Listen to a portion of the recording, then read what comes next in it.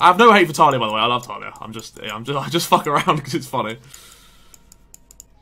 She sent me a, oh, she sent me a, uh, or Latvia, I want to go. She sent me a, um, new single and like a CD today, along with with uh, like cookies of the, the like the bottle of Jack and all this kind of stuff. Munch through it. Although I posted a story on Insta saying thank you, and I tagged the wrong person who made it, so um, I took it down. But I got free cookies out of it, so thank you, Talia. I appreciate that. Those cookies got yeah.